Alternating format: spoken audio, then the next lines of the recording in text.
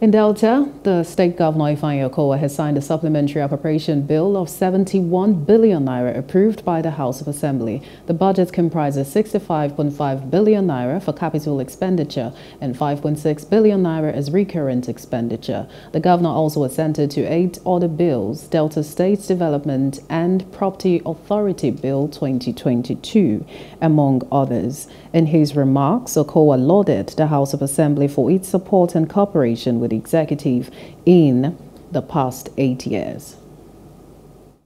We have had a very robust House of Assembly and will continue to remain proud of their achievements as a House. Even in the last days of this administration, they have continued to work so hard to ensure good governance in the state by making appropriate legislation that will impact on the lives of our people. That is why this morning you have witnessed the signing into law of several uh, legislations that were passed by the House. I want to use this opportunity again to appreciate the Delta State House of Assembly for the great work that they did for us in the last eight years. They were partners work together to do the best that we can for the people of Delta State. Uh, we've been a lucky set of people because all arms of government did work together.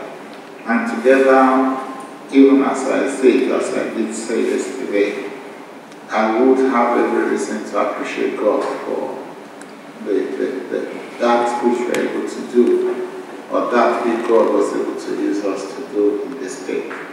There's no doubt that we came, we saw what the previous administration did and we appreciated it. We also looked into areas where we thought the foundation was not fully built and we had to build those foundations.